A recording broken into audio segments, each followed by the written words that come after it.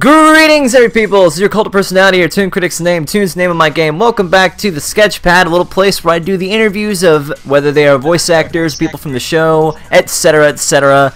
I have quite an interesting guest here today. I've decided to step a little bit out of um, realm of what I usually do. Today, I have with me Mike Pollock. Wow, what are the odds? What am I doing here? Hi.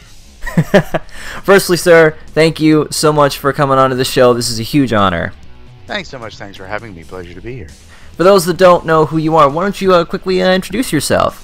Sure. The short answer is I'm the voice of Dr. Eggman in Sonic the Hedgehog for the last 13 years. But among other things, you may have uh, heard me on Saturday morning TV as Meat in Ultimate Muscle and uh, the Mayor and Samo the Bartender in Kirby Right Back At Ya, uh, Langston Lickatoad in Viva Pinata, uh, Bonaparte in Yu-Gi-Oh! GX, uh, Big Oriki and Go-Go Riki and all the other assorted cartoons on the Fox Box and 4Kids TV and the CW 4Kids, various names for it. Um, I do all sorts of commercials. You may have heard me recently doing uh, commercials for Hooters and for Scott's Lawn Care and uh, any manner of things. Whoever, whoever will have me, I'll do spots for them. And uh, some foreign films and all sorts of stuff. I read aloud without sounding like I am, and that's that's my skill. So I was going to ask uh, a lot of the usual questions, but you, but on your website you already have all those questions answered. So I'm going to go with uh, some ones that don't normally get answered. So starting off with, uh, what do you believe are some of the challenges any young voice actor slash uh, actress face when they first start out? The biggest challenge in acting is, has been, and will always be rejection. Uh, I am a freelancer, as most actors are and especially voice actors, the work tends to be very short term.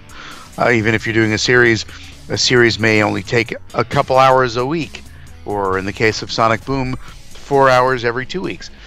And so the rest of the time, you don't want to sit around doing nothing. So you keep auditioning, you keep looking for work. And with most actors, the ratio of auditions to booked work is pretty uh, sad it's it's obviously not hopeless because I keep doing it, but my hard drive is littered with auditions, tons of auditions that I thought were really good, but apparently the people looking for the talent didn't agree. So get used to having rejection uh, and, and being rejected. Beyond that, if you want to get hired, you want to make sure you have some acting background. So learn some stage acting, even if it seems like it's not really relevant, it is especially since if you're going to be dubbing stuff, you may find yourself in a room all by yourself with just an engineer and producer or director on the other side of the glass, and you've got no one to act against except possibly pre recorded people. You'll be hearing the lines played back from when they were recorded earlier, or there's no one, and you've got to act and react to people who haven't been recorded yet. So learn to act with people so you can eventually figure out how to do it without people. I can imagine that can be a little difficult, though. It's an acquired skill, and I've gotten apparently good enough at it that people like to have me come in and do it again. But yeah, it's it's it's a challenge. Once you get the hang of it, it's like okay, I get this. You're essentially playing voices in your head, and it's like some type of bizarre illness, but it's still a useful skill. Hmm. So, what was the point in your voice acting career that you realized that you know you made it finally? What was that uh, moment like? Probably the first recurring role on a TV show, which in my case was the mayor and on uh, Kirby Right Back At Ya. And when I got to turn on the TV and and and hear myself coming out of an animated character over and over again on TV, that was really cool. Um, then I guess the follow up to that would be having booked Dr. Eggman the first time around and then in 2010 they recast everybody, asked me to re-audition, and they rehired me, and that made me feel really good. Well, you are, uh, in my mind, Egg Eggman. As I've said, I made a video recently talking about my hopes for Sonic the Hedgehog in the movie, and I told myself, and in the video, that you were like born to play Eggman. I think like there should be no one else that should do it besides you. Thank you very much. So do you enjoy interacting with the fans? Referring specifically to, I think you did a Twitter Q and A session. You know, where people asked like you and Roger Craig Smith, like in character, a lot of things. What was that like, sort of um, interacting with the fans? Sure. Uh, on the whole, fan interaction is fun. there's a difference between the personal and professional interaction. Most of the interaction I do on social media, people with questions or comments, and I'll just fire back just as me, Mike the actor, responding as an actor would. The Twitter takeover thing, the couple times we did it, that was short term scripted, I guess would be a good way to, to say it. They started with an outline of the um, storyline of Dr. Eggman taking over Sonic's Twitter feed and how that would go down. But the actual responses were in pretty near real time. We'd be watching the Twitter feed and saying, hey, that's a good question. Let's deal with that. Or, hey, that guy's very active on Twitter. Let's talk to him. Or, hey, that'd be funny. Let's do that. And then the creative team would sit around, bang something out script wise real quick, and we would perform it as a very, very fast turnaround uh, uh, performance piece. So that was really fun. It was a different atmosphere than just a standard, oh, this has been scripted two days ago, it's ready to go. Have us stand there at the microphone and read. This was kind of frenetic and fast paced and fun, and unlike most things that I would do normally. I have to say, like, I think probably my favorite bit from that was when uh, you guys respond to the Game Grumps. Actually, what was that like? The Game Grumps are always uh, always great to watch on Twitter, so they were excellent fodder for some interaction. so it was uh, nice to be able to play along. A couple of the things we had to do, I had to be briefed because I wasn't the game expert that the guys behind the uh, scenes were, but we, again, these smoke and mirrors and conjuring that are so much a, uh, a, a hallmark of this profession worked out quite nicely. Yeah, it definitely was great. So, bouncing off of the whole fan interaction thing, what has been a fun convention fan experience for you? A couple of years ago at the London Anime Gaming Convention, uh, a gentleman came up with a life-sized uh, Dr. Eggman uh, coat uh, from the Sonic X era, or the mm. I hmm. guess the modern Eggman look, and he wanted me to try it on. And who would uh, who am I to say no? Been on the small side for me. that was fine, but I uh, I willingly threw it on. Uh, we had a, uh, a life-size uh, sculpture of Orbot that uh, that we also had made, and I got a very nice photo op of me sort of fitting into the Eggman jacket, uh, posing with Orbot. That was really cool. So, what is something you would like to do um, as Dr. Eggman that you haven't been able to yet? Well, there's that movie that's uh, in the works. Love to be part of that. Completely out of my hands, but presumably, if they'll have me, love to have them. Uh, and presumably they'd have me as Dr. Eggman in that. But again, bad luck to speculate, so I already said too much. and I already know too little. That was actually one of the future questions I was going to ask. Like, what are your hopes and thoughts for the Sonic the Hedgehog movie coming out in 2018? Whether or not I'm involved, I wish them the best. Uh, it's the Sega's a fine, wonderful client, and it's up to them whether they use me or not in anything.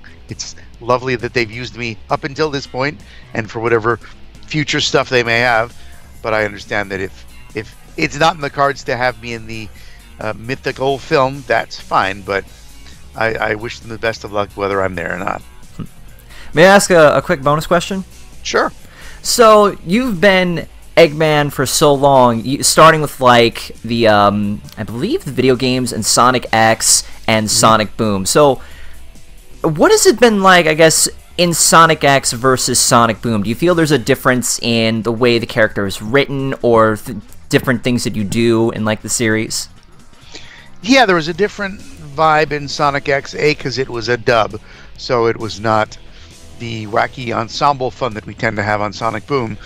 But it was a standard dub where everyone would come in separately and record um, because you have to match the lip flap of each line, and it takes so much tweaking after every line is recorded that it's a waste of time to have everyone there, all the other actors watching one guy have his lines recorded and fixed. So they schedule very much like your doctor's office. You're here at one, you're here at two, you're here at three. We file in, sometimes meeting each other or not. There were some cast members I didn't meet for months uh, after Sonic X started. It's like, oh, you're Jason Griffith. Hi, how are you? uh, and that was fun. And then the just the nature of the way the 4Kids uh, writing staff tended to write a little oh hokey might be the word Uh, some people would complain that it was too kid oriented, but again, that that was the nature of the channel. And then when Sonic Boom came along, um, and especially from the 2010 recasting with Sonic Colors and Sonic Generations, it's taken a much more comedic turn and comedic in a more cerebral type of way. I would liken it to the old Looney Tunes cartoons. It's got a very intelligent streak going through it, and it's self-aware. I think too. That would be yeah, and it's great fun to record just because it's funny dialogue and it makes me laugh as I'm recording, causing numerous retakes. Sorry, guys in the booth. um, and also, we do it ensemble style. It's a weird type of ensemble style because most of the time I'm in New York and the rest of the gang is in LA. So we're essentially chatting just like this on Skype, where I'll hear them and we get to react and interact and act with each other through Skype, and then my recording is shipped out to LA electronically and assembled for the final draft. Right. I thought it would have been more like, you know, you have like three guys in a room and then there's a chair with a laptop with the mic like pressed right up against it. That's how it would work or something. It's kind of a little more sophisticated than that. But well, it's essentially yeah, it's listed it's essentially listening on a phone. And I'll record my side, you record your side, then we'll put it together when we're done. All right. So what's one thing on your voice acting bucket list you'd like to share with uh, the lovely people who are listening to this? Well, as I'm constantly auditioning, my job is always to book the next job, whatever it may be. So today I did a bunch of auditions for assorted commercials. I would like to book each one. Chances are I'll book none of them, but that's okay. But I'm always focused on the next gig, whatever it may happen to be. Um, but I guess if I had to dream big, something big and theatrical, not necessarily the aforementioned Sonic the Hedgehog film. A Disney movie, perhaps? any movie they would have me. Disney Disney would be a wonderful thing. Any of the big animated films that I go to the theater and see and say, "Hey, that could have been me. I could have done that better." So yeah, hey Hollywood, whenever you're ready, give me a call. I'm sure they would love to have you. Thank you. All right. Uh, here we go. What makes you continue to do what you do as a voice actor? I guess is the last question to kind of uh, wrap things up. It's a mixed bag. There's a the need for food, clothing, and shelter, which despite my best efforts, continues to not be free. So you've got to do something for a living. I happen to find this little gig, which I seem to be good at, and people like to hire me for. But it's the the joy of booking a gig and trying getting to do something new every time I'm in front of a microphone. It may be a recurring show, but the scenes are always different, the dialogue is always different, the character's always slightly different. There's always something new to find and explore. And then there's the challenge of taking boring narration material for, say, a financial e learning thing and trying to make it interesting. Not just for the person hearing it, but also for me, who's got to sit there and read it for a couple hours straight. Um, or coming in and, and having booked a commercial and figuring out exactly what the director wants, because I generally can't leave until the uh, client is satisfied. So figuring out, well, here's your script I think I know what you want. Is it this? Is it this? Is it this? You know, keep keep trying and doing it until I get it right. So it's the challenge of being able to act. I'm. It, it's very much like a short order cook, but with acting. Hmm. Oh yes, I okay. I kind of derped there. There was actually one last question. This is the last bonus question I wanted to throw at you. So, are you like familiar with My Little Pony: Friendship is Magic?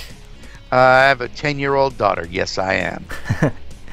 I'm sure you know that they they love to have um, guest stars, but say they offered you a voice role for the show, would you possibly be interested?